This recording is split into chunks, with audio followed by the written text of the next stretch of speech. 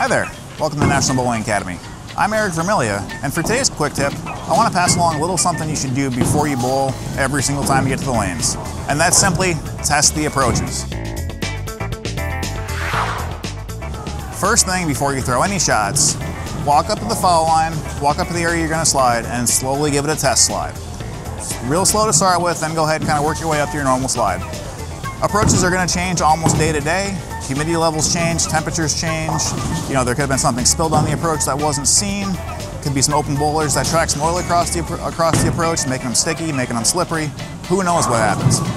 But by checking them first, making sure everything's sorted out, everything's in order for you, you can assure that you're gonna have a good slide and not hurt yourself. If there is something wrong, you can certainly change your heel or sole. You can certainly take a brush to your shoe, scrub it a little bit, and make sure the approaches are set. That way, when your practice your practice ball time starts, you can devote that entire amount of time to getting loose, finding the right shot, finding the right ball, and not have to waste time trying to sort out the approaches. Or again, worse yet, you go into that first slide, you stick, you fall face first, you hurt yourself.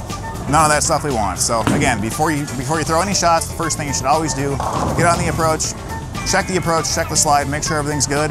It'll keep you safe, it'll help you knock down more pins.